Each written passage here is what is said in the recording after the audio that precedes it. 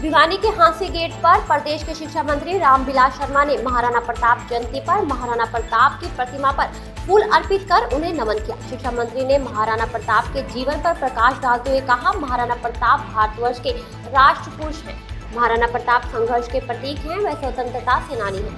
वही हरियाणा कर्मचारी चयन आयोग जेई की परीक्षा में ब्राह्मण जाति के विषय में पूछे गए प्रश्न पर शिक्षा मंत्री बोले, ये ब्राह्मण समाज को ठेस पहुँचाने वाला काम किया है और इस पर जाँच की जा रही है। आखिरकार गलती किससे हुई है? उन्होंने मुख्यमंत्री से बात करके दोषी पाए जाने वाले पर सख्त कार्यवाही करने की बात कही। उन्होंने इसे निंदनीय बताते हुए कहा, हिंदुस्तान में किसी को भी समाज को ठेस पहुँचाने का हक नहीं है। महाराणा प्रताप भारत के राष्ट्र पुरुष हैं।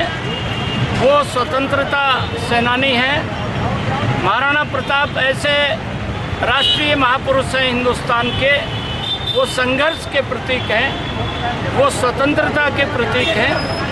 वो हमारा स्वाभिमान है वो हमारा मान है वो हमारा सम्मान है। सर शिक्षा विभाग में अध्यापकों की कमी को पूरा करने के लिए किस प्रकार के कदम उठाए? हमने बीस हज़ार अध्यापक रेगुलर भर्ती किए हैं।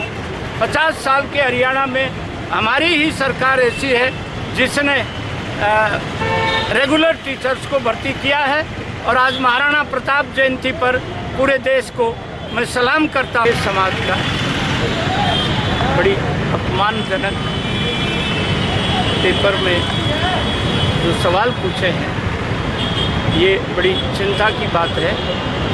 और हरियाणा सरकार इसके लिए जिन शब्दों का एक बड़े समाज के लिए प्रयोग किया गया है, वो निंदनीय है और लोगों में की भावनाओं में ठेस पहुंचाई है।